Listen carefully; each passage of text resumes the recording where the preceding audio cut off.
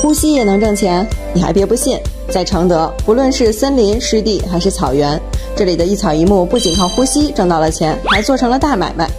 前不久，河北省生态环境厅在承德市举办第四批降碳产品价值实现集中签约仪式，现场就实现交易额两千六百余万元。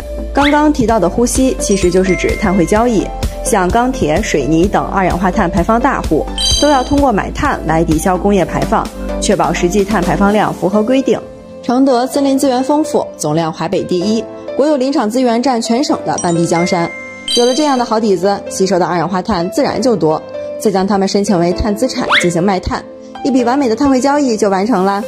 目前承德市已累计碳汇储备五百万吨，实现交易量八十余万吨，交易额四千多万元。占全省的百分之八十七，经济效益有了，生态效益自然更突出。以塞罕坝机械林场为例，塞罕坝百万亩人工森林生态系统，每年可为滦河、辽河下游地区涵养净化水源一点三七亿立方米，每年可吸收二氧化碳七十四点七万吨，释放氧气五十四点五万吨，可供近两百万人呼吸。河北新闻联播报道。在中国国际生态竞争力峰会上，全国共有五个城市获得2023最具生态竞争力城市称号，承德位列其中。卖好炭，护好城，咱承德真正做到了点炭成金。